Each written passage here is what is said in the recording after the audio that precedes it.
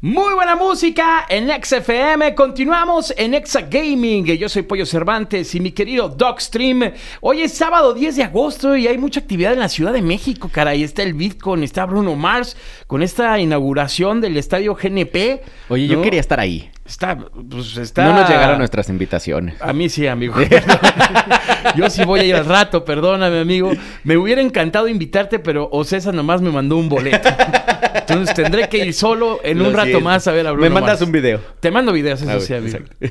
Eso sí, te mando videos. Pero tenemos a nuestra propia estrella el día de hoy en la cabina. Claro, por favor, aquí esta cabina está siempre llena de grandes estrellas y el día de hoy tenemos un gran invitado a quien pido un aplauso, por favor, a Simplemente Veramente Marco!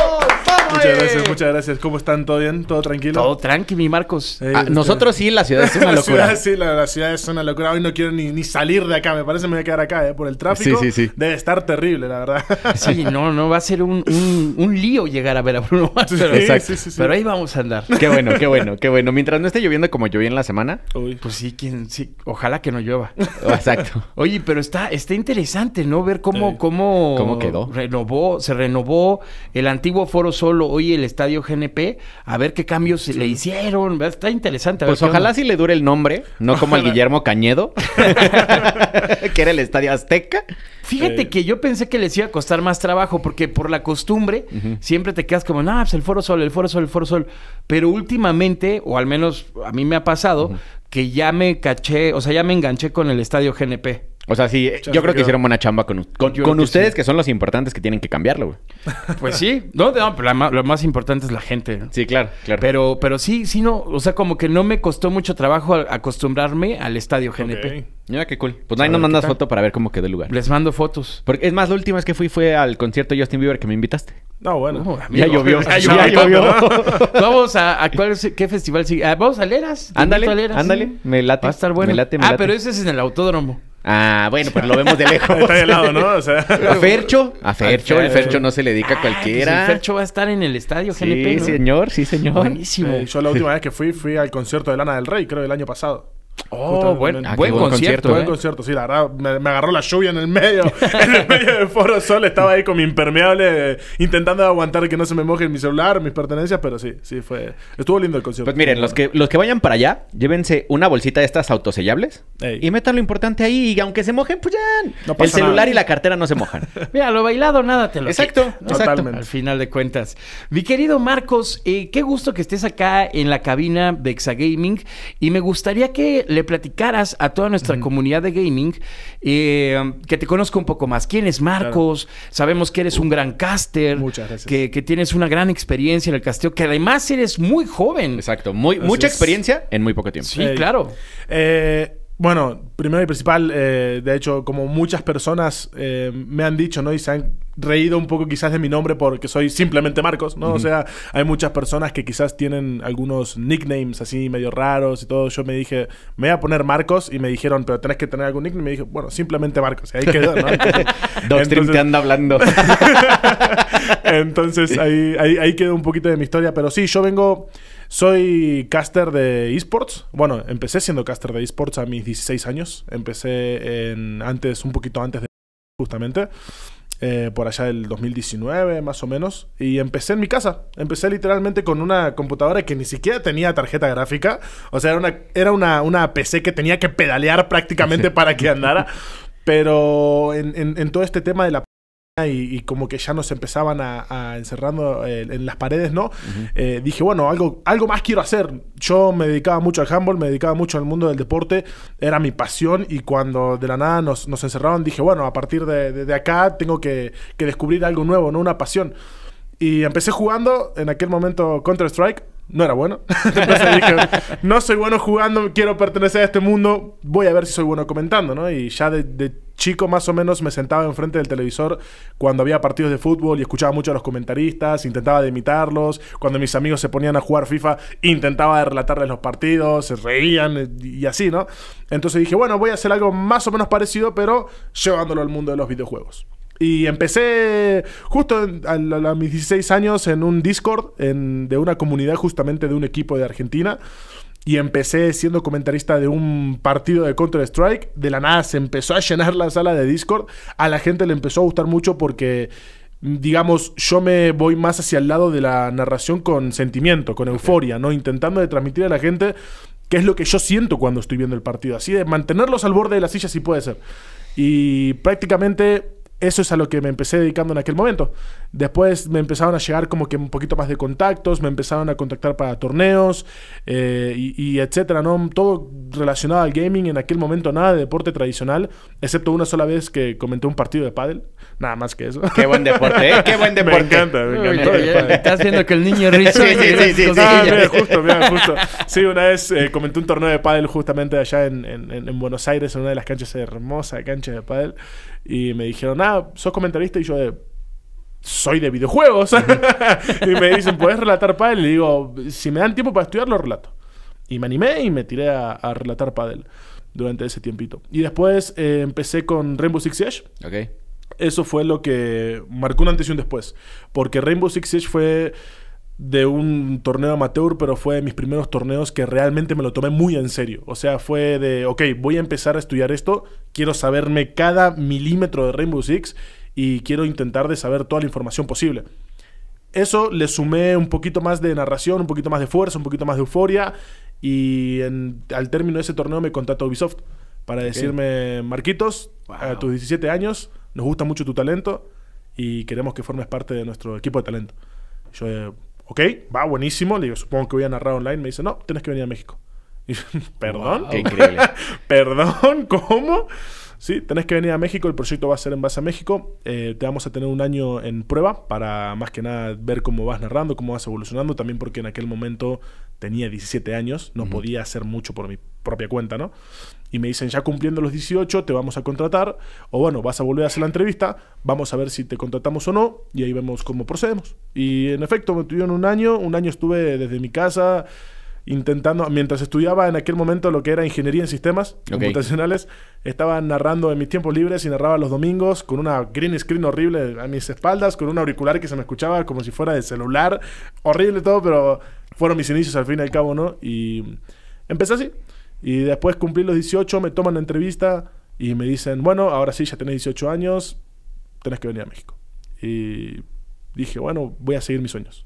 Qué increíble. Y me vine para acá. Y aquí está. exacto. Y, lo que me, o sea, no es que no sea toda la historia muy buena, pero me quedo con dos cosas muy buenas. La primera es, y como le hemos dicho aquí a mucha gente, empieza con lo que tengas. Claro. Atrévete, no importa, o sea, nos llega aquí muchos comentarios, muchas preguntas. Tenemos un, espacio que se llama la Clínica del Doc, en donde resolvemos dudas que tiene la gente que quiere ser creadores. Y muchas de esas preguntas es, ¿qué computadora tengo que tener para poder ser caster, para poder ser gamer? La que tengas, brother. ¿No? O sea, hoy, hoy hay herramientas muy buenas para sacarlo y para, para que brille tu talento, porque al final hoy el mercado del gaming, a pesar de que somos muchos, es muy joven. Sí. Entonces todavía hay mucha oportunidad para la gente de, de brillar, ¿no? O sea, como antes que, que veías a los comentaristas eh, de fútbol eh, comentando y grabándose con su celular para subirlo en YouTube y de ahí salían a las grandes televisoras. Hoy es lo mismo con nosotros, ¿no? Totalmente. Es algo que, a ver, yo eh, por suerte también tengo una familia que me apoya mucho. O sea, tanto mi madre y mi padre me han apoyado todo el tiempo con lo que he querido hacer. y me han dicho, si, si realmente querés hacer eso, búscalo. Búscalo, no hay otra manera. Si, eh, si, no lo haces, ya tenés el no. O sea, si no lo haces, vas a tener menos oportunidades que haciéndolo, al fin y al cabo, ¿no? Por más de que sea 10% de posibilidad de chances. O lo que sea, hacelo. No perdes nada en tu vida y quizás muchas personas van a decir muchas cosas, pero si no lo haces, van a decir muchas otras cosas igual. Hay que animarse. A veces es más el tener hambre de buscar tu sueño, el tener hambre de querer dedicarte, ¿no? A, a lo que querés hacer y, animarte a hacerlo no te cuesta nada, realmente. ¿no? O sea, y quizás en una de esas la, la, pegaste, tiraste un triple y la embocaste y te pasan cosas muy, muy lindas, ¿no? O sea... Es que yo creo que, ¿qué te gusta? El 99% de los invitados que hemos tenido aquí son gente que se atrevió. Claro. No, o sea, que de un día dijo, yo quiero. Pues yo creo que 100% de los sí, invitados, güey. Posiblemente, posiblemente hay algunos que la, que, la, que la misma vida los empujó y, y les pusieron las cosas más fácil. Claro. Sí puede ser, pero de ahí en fuera, no sé quién más podría. O sea, eh, eh, digo, y lo, decía que me quedo con estas dos cosas, porque que lo tome la gente. Y el segundo es, no importa qué edad tengas, Las oportunidades se te presentan y tienes que tener la visión para agarrarlas. Totalmente. Ah, yo, yo a, mí me llamaron la atención dos cosas. Sí. La primera, que mucha gente tiene la percepción de que por ser caster, comentarista, narrador, relator, lo que sea, tienes que ser pro player. Y no es así. A ver, no toda la gente que castea o no toda la gente que crea contenido como tal tiene que ser pro player, ¿no? Al final es disfrutar el juego, entender el juego. Y la otra que también viene de la mano, que es muy importante, estudiar el juego. Sí. Porque cuando quieres empezar a narrar, tienes que empaparte, jugarlo, obviamente, conocer a los personajes, a los campeones, las habilidades, conocer los mapas, las ubicaciones, las armas, prácticamente de todo, ¿no? Y aquí va una pregunta, mi querido Marcus. ¿Qué se estudia del juego para empezar a ser caster? Depende mucho del juego, ¿no? O sea, por ejemplo, en Rainbow Six Siege es un juego extremadamente táctico. O sea, es un juego en donde realmente tenés que conocerte cada parte del mapa, tenés que conocerte en cada sitio donde van los objetivos, ¿no? Porque en Rainbow Six es, un juego por objetivo, es prácticamente un 5 vs 5 con al Counter-Strike, a defusar y armar. Eh, tenés que conocerte muchas ubicaciones, ¿no? Sobre todo las callouts de los mapas. ¿Por qué? Porque dicen, ¿no? Y, se, dice por ahí que un buen caster tiene que poder eh, hacerte saber dónde está el jugador en todo el tiempo, por más de que vos no estés viendo la transmisión, ¿no? O sea, como si fuera justamente una radio, igualito. Entonces, el conocerse cada parte del mapa, el conocerse bien quizás los objetivos, el conocerse qué hace cada personaje, eso, por ejemplo, en la mayoría de shooters, porque quizás ahí lo puedes englobar un poco, ¿no? En Counter-Strike pasa exactamente lo mismo con el side de A, el side de B en Dust, ¿no? Por decirte. Eh, ahora, si te vas al lado de League of Legends, que es eh, un MOBA, que es un juego quizás también tiene mucha complejidad, tenés que aprenderte cada habilidad de cada personaje, el nombre de cada personaje, el nombre de cada habilidad de cada personaje, lo que hacen los ítems, por qué se hizo tal ítem, por qué no se hizo tal otro. Son varias cosas que tenés que estudiar, ¿no? Y siempre ese estudio va acompañado de, una, eh, digamos, procedencia que tenía el equipo anteriormente, ¿no? Entonces ahí donde ya te metes, aparte de todo el conocimiento del juego que tenés, le sumas el estudio del equipo al cual vas a estar casteando. Claro. O le sumas el enfrentamiento que estás a punto de castear. ¿Qué pasó con este equipo la temporada pasada? ¿Se enfrentaron antes? Si se enfrentaron antes, ¿cómo salió? Eh, ¿Por qué ganó tal equipo? Es, es, un poquito complejo, ¿no? Pero es más que nada un estudio muy analítico para poder explicarle a la gente qué equipo tiene más, eh, digamos, más grandes, más chances de ganar, ¿no? Oye, Marcos, ¿y tú qué crees que haya sido el éxito de Rainbow Six? Para durar tanto tiempo, porque yo creo que de los shooters que están ahorita pegados hasta arriba es el que tiene más tiempo. Sí, sí, sí. O sea, la gente se acuerda solo de Fortnite, pero está antes Rainbow Six. Claro. ¿No? ¿Cuál es el éxito de haber permanecido tanto en el mundo competitivo y a tan alto nivel? Mira, yo creo que una de las. De lo que. Al menos acá en Latinoamérica, ¿no? Eh, me han preguntado muchas veces ese, tipo de cosas y yo creo que es la gente. La gente lo mantiene vivo realmente. Rainbow Six es un juego muy demandante. Es un juego muy exigente. ¿Por qué? Porque tienen cambios, pero rapidísimos. Y cambios que realmente impactan al juego y cambian la forma de jugar, ¿no? Entonces yo creo que el hecho de que la gente lo siga jugando, de que la gente siga apoyando este juego, de que sobre todo en el competitivo se vea de que hay jugadores nuevos, de que a veces resurgen eh, jugadores desde muy chiquititos, como vos le decías, ¿no? Hay jugadores de 16 años que ya andan jugando torneos amateurs. Y ellos son las próximas promesas. Sí, claro. Me ha tocado incluso castear hace, hace no mucho tiempo, cuando todavía estaba en, en Rainbow, ¿no? A un jugador europeo que se llama Spoit que él tenía 18 años y ya salió campeón del mundo, con 18 años. ¿no? Y ese chico jugando Rainbow Six desde que te gusta, 14 años, más o menos, y no dejando de jugar ni siquiera un segundo. Y claro, y ahí cuando ya empezás a, conectar cables y decís, llevas desde los 14 jugando Rainbow y llevas entrenando desde los 14, es obvio que a los 18 vas a salir campeón del mundo, mínimo vas a haber ganado un torneo. Claro. Es una locura. Incluso me ha tocado conocer a, a un jugador brasileño cuando vinieron acá a México se llama JB, es jugador de un equipo que se llamaba W7M. Y voy y le digo, en tus tiempos libres no jugás otra cosa que no sea Rainbow Six, porque me imagino todo el día jugando Rainbow, en algún momento te tiene que hartar. Y me dice, no, yo solamente juego Rainbow porque si juego otro juego, automáticamente estoy pensando que alguien está mejorando lo que yo no estoy mejorando. ¡Wow! No, bueno. imagínate la mentalidad del pro player. Es nivel Cristiano Ronaldo. No, sí, sí. Y es que de verdad, e, e, esas son como las cosas que hay que entender cuando se quiere ser pro player. Claro. No hace poco me salió en TikTok un chavo chileno que tenía 16 años igual no recuerdo muy bien el nombre, la verdad lo empecé a seguir, me llamó la atención eso, que, que él decidió ser pro player. Y dice, a ver, a partir de ahora he decidido en mi vida ser pro player. Y voy a entrenar tanto, y vean, saqué esta partida y, y gané ese torneo. Y justo es es, eso es un aporte padrísimo porque casi nadie te lo dice. Claro. ¿No? Casi por lo general piensas igual de, bueno, igual juega Fortnite cuando pues, ya está libre, ¿no? O juega Apex o juega otra cosa. Y no, eso está buenísimo. ¿eh? Sí, sí, sí, la verdad es que a mí me impactó mucho. Y ahí es cuando empezás a, entender la disciplina de estos jugadores que antes te lo tomabas como algo divertido, como algo casual. Hoy en día puedes ser profesional.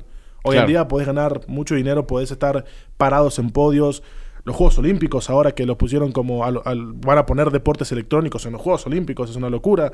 Eh, muchas cosas. O sea, la verdad es que hoy en día los esports creo que han hecho un salto muy grande.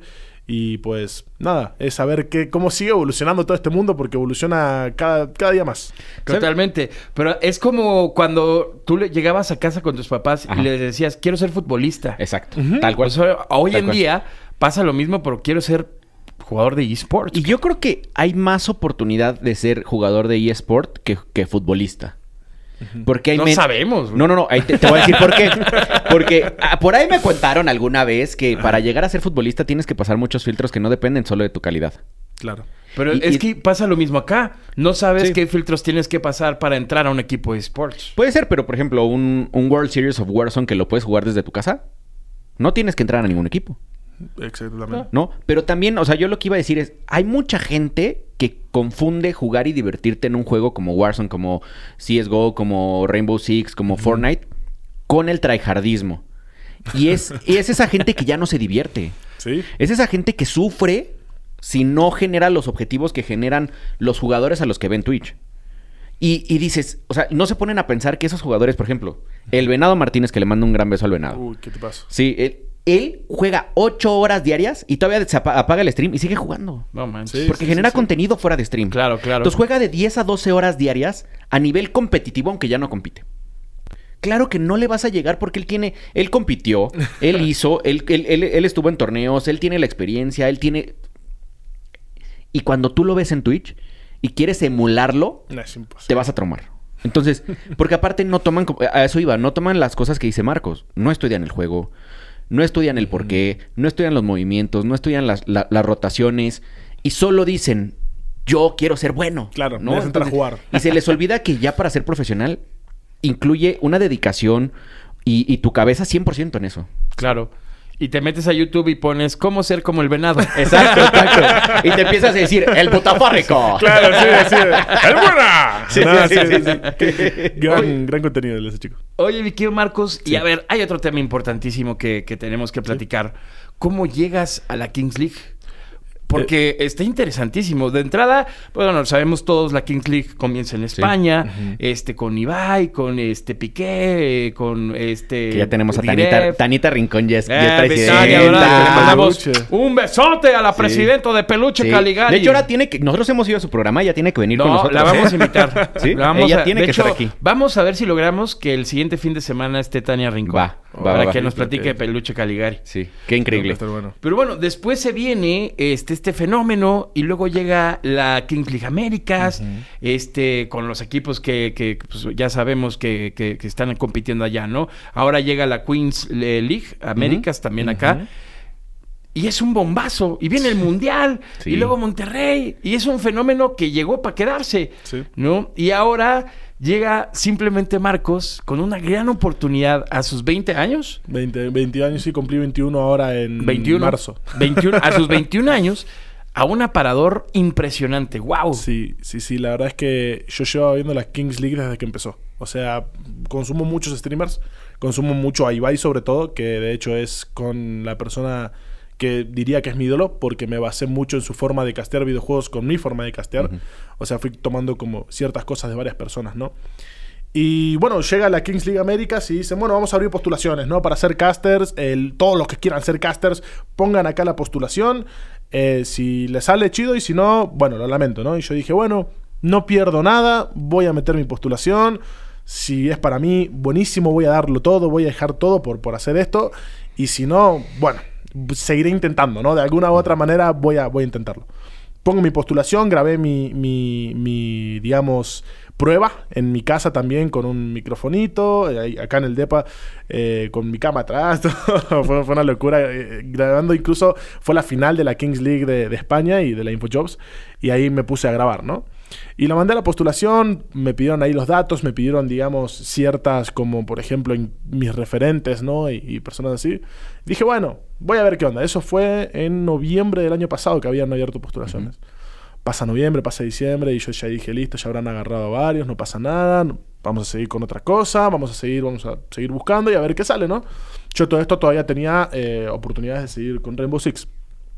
Pasa este, noviembre, diciembre, empieza enero y digo, bueno, ya febrero, ya el mes que viene ya es la Kings, ya está, ya con un mes de anticipación quiero creer que no me van a avisar, ya deben tener a todos los casters, encima de que yo estaba viendo a muchos eh, talentos muy grandes, ¿no? Eh, que habían puesto su postulación. Y así, entonces me sentía medio intimidado, no solamente a casters de esports, a comentaristas deportivos que habían metido postulación y dije, uy, esto va a estar dificilísimo. Y un día estoy así, acostado en mi cama, lo más tranquilo, un día que creo que era domingo, no iba a hacer absolutamente nada, y me llega un mensaje de, un tal, bueno, de, me llega un mensaje de alguien, y me dice, ah, hola Marcos, ¿cómo andas? ¿Todo bien? yo, ok, todo bien, vos. Así como, no sé quién sos, pero bueno, ¿no? Me dice, bien, eh, me dice, ¿no podemos vernos en una llamadita ahora en unos 20 minutos? Y yo de, sí, ¿para qué es? Ah, es para un proyectito. Y yo de, bueno, va. O sea, un proyecto chivísimo porque necesitaba tener algo, ¿no? No tenía la Kings. Oye, proyectito. Sí, sí, sí, sí, sí, proyectito. No, no, y, es, buenísimo. Y entro al, al, perfil, director de contenidos de la Kings League Américas. Y dije, uh, Un beso. un beso porque sí sabemos quién eres. No puede ser. dije, no puede ser. Y mm, tuve la llamada con este señor y me dice, vimos tu postulación, nos gustó mucho tu postulación, nos gustó mucho tu prueba, venís de los esports, sabemos quién sos. Yo me dije, ¿qué? Perdón. Y me dice, eh, te vamos a pasar con recursos humanos, vas a tener probablemente una entrevista con ellos y después vas a tener una entrevista con Lashun y con Crozas. yo, eh, bueno, o sea, un día, un domingo a mi cama voy a tener una entrevista más al rato con Lashun y con Crozas, ok, no pasa nada, no hay problema, ¿no? Va, y tuve las entrevistas, que son como distintos filtros, ¿no? Y al final me dicen, bueno, ahora venite jueves a las 3 de la tarde a Quarry, que es ahí donde se, hace la Kings. Eh, vamos a grabar todo lo que es de contenido, bienvenido al equipo. Y me cayó como un baldazo de agua fría. o sea, en, en, todo ese periodo pasó en una cuestión de una semana, donde yo encima venía de tener semanas feas porque en todo este mundo del caster yo me estoy manejando mucho como freelancer. Entonces no tenía mucho trabajo. Estaba hundidísimo. Sí, no había nada fijo. Estaba incluso pensando en volverme a Argentina, a Buenos Aires. Ya dije, ok, ya no tengo nada acá. Eh, me, cuesta mucho seguir acá. Me vuelvo a Buenos Aires. Si no me sale ninguna oportunidad eh, para marzo, me vuelvo a Buenos Aires. Y va que me sale esto. Y dije, no, esto es, mi oportunidad para quedarme acá y para ya clavarme. Y, fue como una bocanada de aire, la verdad es algo que me, salvó de... y me siguió inspirando a seguir mis sueños, porque realmente es algo que yo quiero seguir, ¿no? Es algo que a mí me fascina ser comentarista, me fascina transmitirle emociones a la gente. Y el hecho de que eh, por un momento, por casi un mes, esté por derribar todo tu sueño, todo tu progreso, todo el sacrificio, porque yo llevo tres años acá solo, no tengo ni mi familia ni nadie, y vengo nomás para hacer mi sueño, sí, sí para seguir mi sueño y que por un mes esté a punto de derribar todo y que de la nada te llegue una oportunidad gigantesca y digas, oh, por Dios, al fin. Entonces sí fue, fue muy, muy bonito. Bueno, paréntesis, ya tiene alguien, tiene a sus amigos de Exactamente, exactamente. aquí tiene a sus amigos de querido Marcos. Muchas gracias, muchas gracias. Qué, qué increíble historia, ¿no? Sí, y, y Tienes, tienes muchas similitudes con historias de actores de Hollywood que son igual, ¿no? O sea, que ya sus últimos 10 dólares y ya estaban así de este es mi último casting y de repente les dieron la mejor película de su vida. Sí. Qué increíble. Y la verdad es que dicen que cuando, cuando te toca, ni aunque te quites. Sí, sí, sí. ¿no? Y, ¿Y qué sentiste la primera vez que casteaste y que estaba Ibai ahí? Uy, fue una locura. De hecho, tengo. Es, es algo loco porque incluso nunca en mi vida pensé que me iba a tocar verlo en persona, ni siquiera. O sea, yo lo veía como una posibilidad muy futura y como una posibilidad de, bueno, si algún día se da, ¿no? Pero el castearlo y verlo que lo tenés en una cabina enfrente tuyo y de la nada que te ponen en entrevistas con él y puedes hablar con él, es, decís, ay, ¿qué, ¿qué, está pasando acá, no? Y es, una, es un sentimiento inexplicable, ¿no? Porque estás viendo a tu ídolo, estás hablando con tu ídolo, estás prácticamente relatando el equipo de tu ídolo, ¿no? La persona que te está, que en algún momento agarraste sus cosas y dijiste, ok, por este señor yo quiero empezar a también hacer esto, ¿no? O sea, quiero hacer lo que él hace. Y se siente muy bonito, incluso en, todo este proceso de la World Cup. Yo un día llego y dijeron así de la nada, ah, Ibai ya llegó, va a venir acá a, a Quarry, ¿no? y me empezaron a temblar las piernas. Dije, no, no me digas que va a venir a Quarry no puede ser esto. Y de la nada lo veo que baja de una camioneta y casi que se me baja el azúcar. Me tuve que sentar y dije, no, pues esto no puede ser. Y me acerqué y le pedí una foto y me llevó una sorpresa mucho más linda todavía. Porque le digo, Ibai, ¿te, te puedo pedir una foto? Y me dice, claro, Marcos, yo, ¿sabes mi nombre? ¿Cómo sabes mi nombre? Y me dice, sí, obvio, yo veo, veo la Kings League Américas, me gusta mucho cómo narras, lo haces muy bien. Y yo, de, ah, yo voy a hacer mi narración en voz. Y me dice, no, estás, estás, lo, estás haciendo increíble, sí, vení, sacate la foto. Y me saqué la foto y, él se fue a hacer sus cosas y yo me quedé, ese mes entero me quedé soñando. sí, no Y es que la verdad es que, digo, nos tocó conocerlo en, San Francisco. Y es un tipazo. Sí, sí. Es un tipazo. Totalmente. ¿No? O sea, porque a, pesar de que puede ser el personaje más grande del, de, la, de, nuestro movimiento en Latinoamérica, en Iberoamérica. Sí. ¿Lo ves y sigue con sus chanclas? Sí, sí, sí. Sigue, sigue hablando igual, exacto. O sea, no ha cambiado su persona a como cuando empezó. Y es increíble, ¿no? O sea, y creo que es un buen modelo a seguir, que tú lo seguiste y ves dónde estás. Sí, claro. Eh, yo creo que él, como figura incluso pública y todo, todo lo que hace hoy en día, porque también él ayuda a personas, quieras o no, ¿no? Y, el ver lo que sigue de esa manera tan humilde, el ver lo que sigue de esa manera, eh, digamos, fieles a sus principios, ¿no? Es algo lindo de ver, porque es algo que te dice, ok, no perdés la esperanza en todo, ¿no? Porque hay muchas personas que, quieras o no, pierden el piso. Por X o Y razón, pierden mucho el piso y se les va y, pierden mucho eh, sus principios o, o, cosas así. De la nada se fueron a otro tope, cosas que pasan. Pero este chico se mantiene igual y el verlo y decir, ok, puedo hacer esto yo también, lo quiero hacer y lo voy a hacer. Punto. Oye, y a ver, estas vienen las preguntas buenas, ¿eh? adelante, adelante, adelante, la que quieras. ¿Has visto a alguien que dentro de este proyecto de Kings League eh, Américas ya perdió el piso y tú dices, ya lo perdimos Houston? Fíjate que no, ¿eh? Fíjate que no me ha tocado, no me ha tocado ver a alguien que haya realmente perdido el piso. Por suerte somos todos como una familia. O sea, la verdad es que eso es algo, otro pequeño plus que se siente bonito.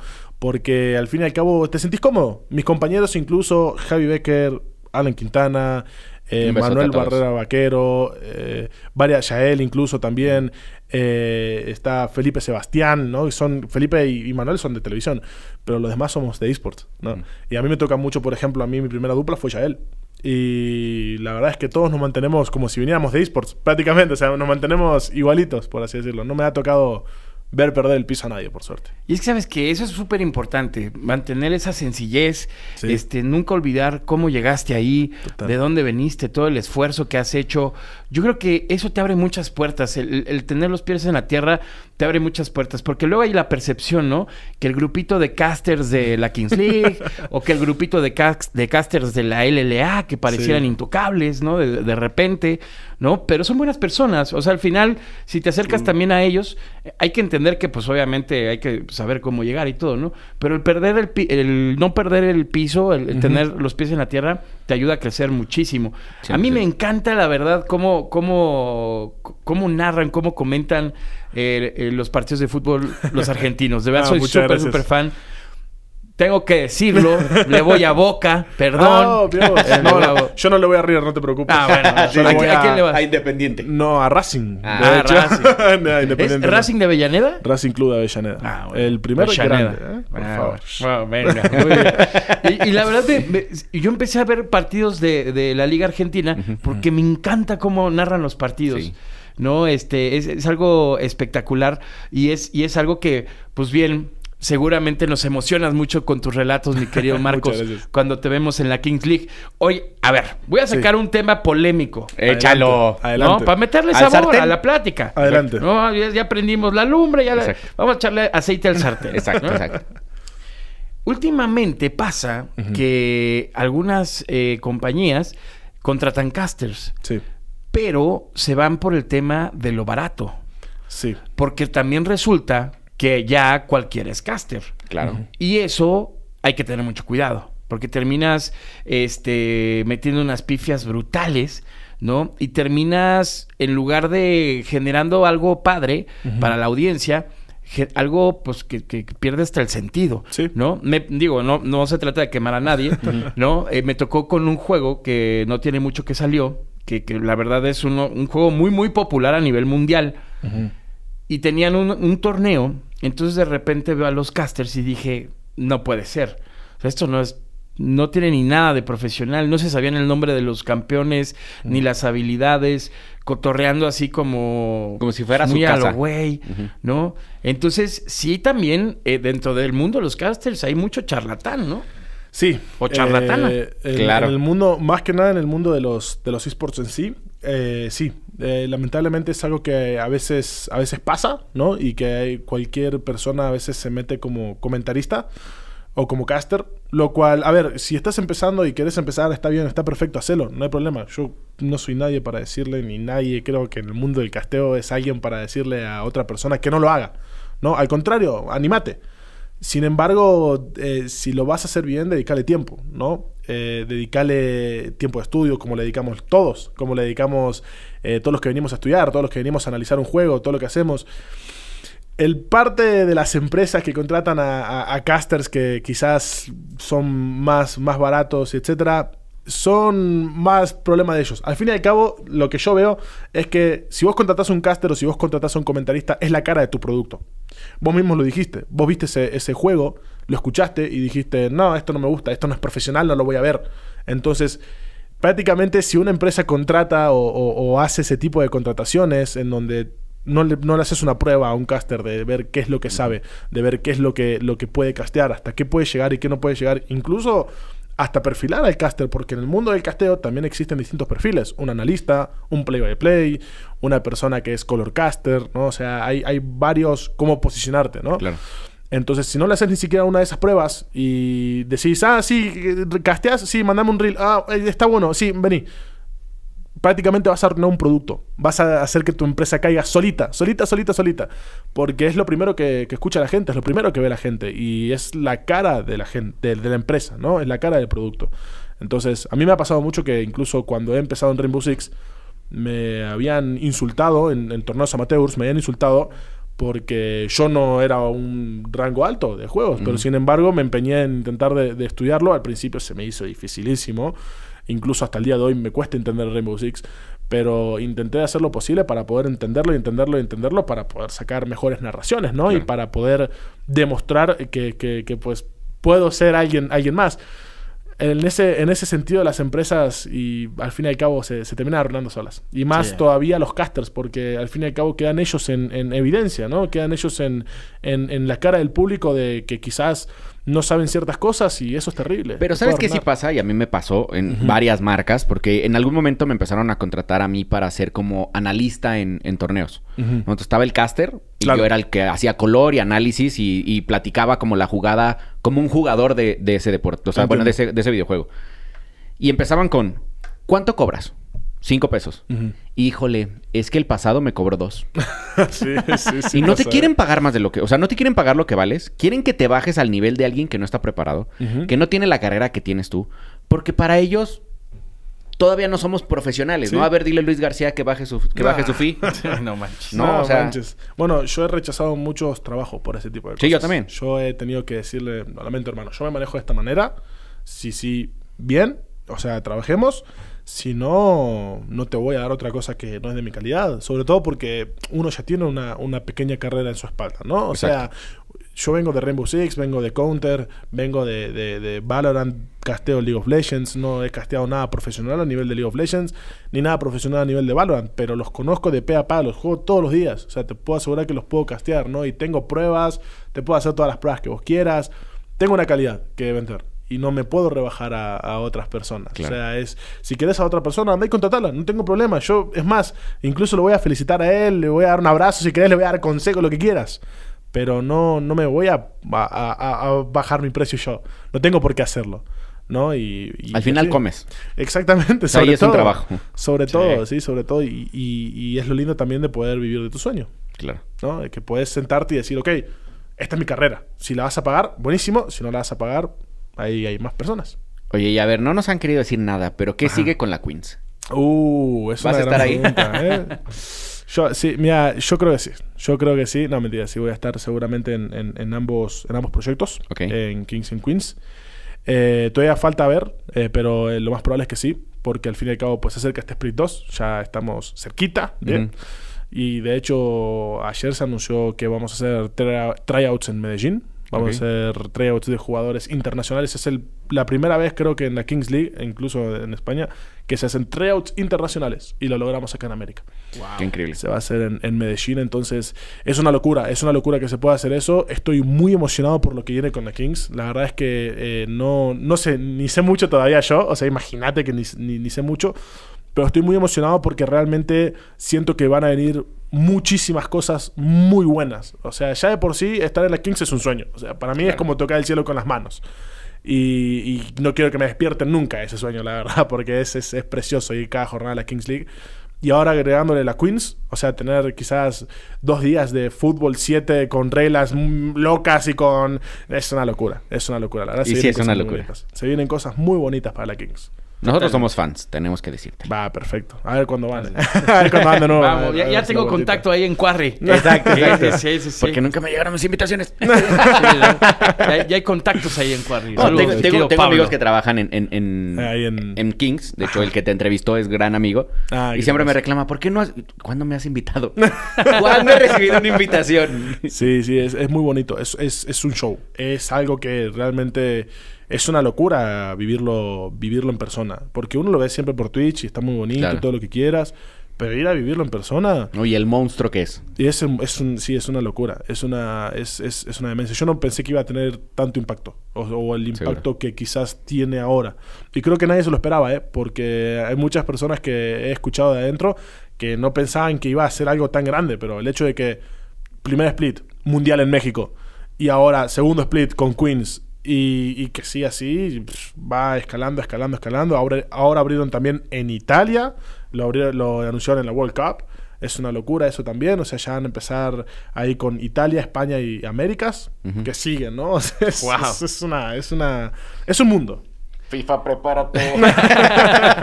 Si yo voy a salir en FIFA relatando en FIFA me vuelvo loco. ¿eh? ya sé, ya sé. Viene la, la, la coreana Exacto, exacto, exacto. con cinco fakers. Una locura. Cinco fakes jugando fútbol, no. Una locura, sería una locura. Así es. Entonces, sí. Mi querido Marcos, gracias. Gracias por No, haber estado acá. Qué buena plática nos Sí. aventamos, la verdad. Sí, sí. Eh, qué, qué felicidad. Bienvenido siempre, mi hermano. Esta es tu casa. Gracias. Cuenta con nosotros también. Gracias, hermano. Eh, y este, y siempre nosotros le pedimos tres consejos a, a nuestros grandes invitados. Consejos que le puedan ayudar a la comunidad de, de Exagaming a poderse preparar mejor, a poder avanzar, a poder profesionalizarse también, porque es importante. ¿Qué consejos les darías? Seguir sus sueños. O sea, hay algo que, que la verdad es, es muy importante y es que el corazón pocas veces se equivoca. Eh, a veces uno lo ciega en ciertas cosas, pero el corazón pocas veces lo equivoca. Seguir sus sueños, animarse a cosas nuevas, porque sobre todo uno nunca sabe qué puede llegar a salir bien. Y sobre todo estudiar mucho. Estudiar mucho en este mundo también es importante. Yo hoy en día no tengo una, una carrera de, de locutor, no tengo una carrera de absolutamente nada que tenga que ver con, con este mundo de, de ser comentarista deportivo. La estoy estudiando ahora sí.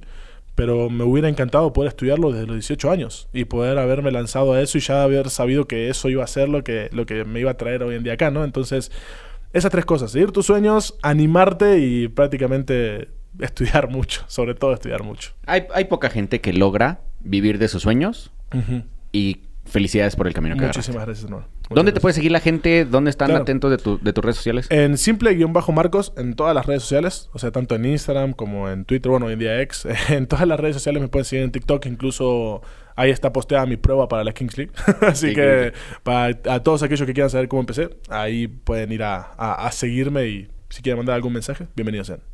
Buenísimo.